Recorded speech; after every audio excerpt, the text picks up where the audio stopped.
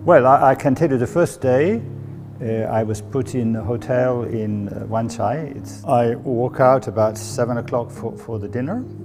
And you know, I think this is very common for people who come from the West. They, they cannot believe what they see, you know, because the buildings are so tall, there are so many people, there are so many cars.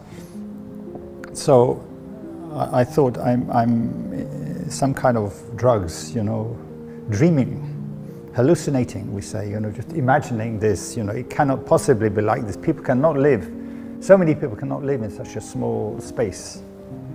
So that was the first impression.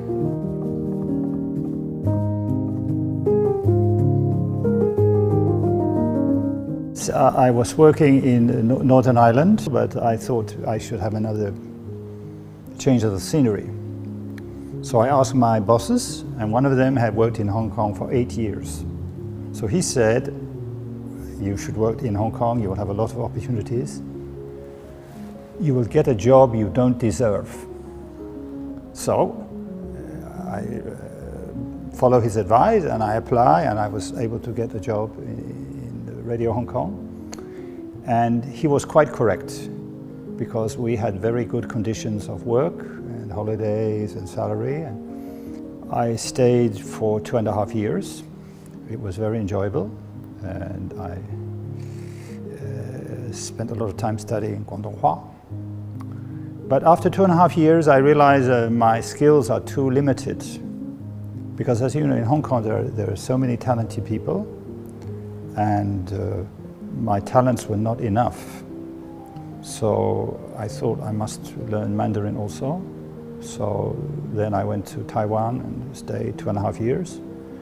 Uh, well, the main reason, of course, is uh, I was uh, fortunate to meet a wonderful Hong Kong lady. So uh, you, after you marry the lady, then of course your life changes. So she's Hong Kong lady, so she preferred to, to live here. So we live here. In Mei Fu, I go swimming very often, and we have many public swimming pools and the behavior of the other swimmers is very good.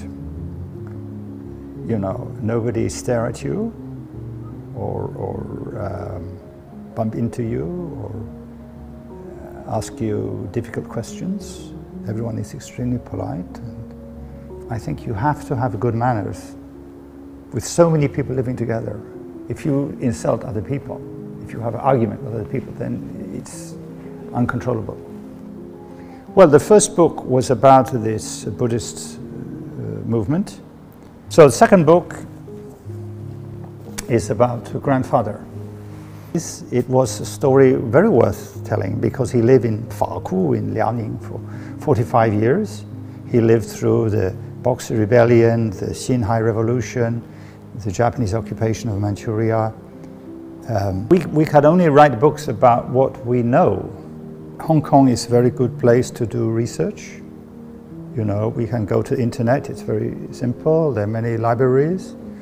Yes, I, I, I mean, I'm interested in many aspects of, of China. I mean, when we are studying uh, Mandarin in Taipei, one day my teacher said, we must thank uh, Mr. Hu Shi because if it wasn't for him, you would be learning Wen Yan Wen. And if we are learning Wen Wen, maybe it will take five years, you know. But Bai Hua Wen is much easier to learn. So, from, from that time, I have an idea of, of, uh, of Hu Shi. I cannot compare in any way with these very famous Chinese scholars, and their books are very much better than mine. But all I can say is this is like an easy book. You know, it's short, it's simple, it gives all the main information. If you want to understand Hu Shi in more depth, then of course you must, you must uh, read these other books. We are very happy living in Hong Kong, so it's a very nice place to live. So, uh, yeah, I, I, would love to carry on writing, but the key point, which I just say, is you have to find publishers. Yeah, as long as I can find a publisher, yes, uh, I would like to, to keep on, keep on writing.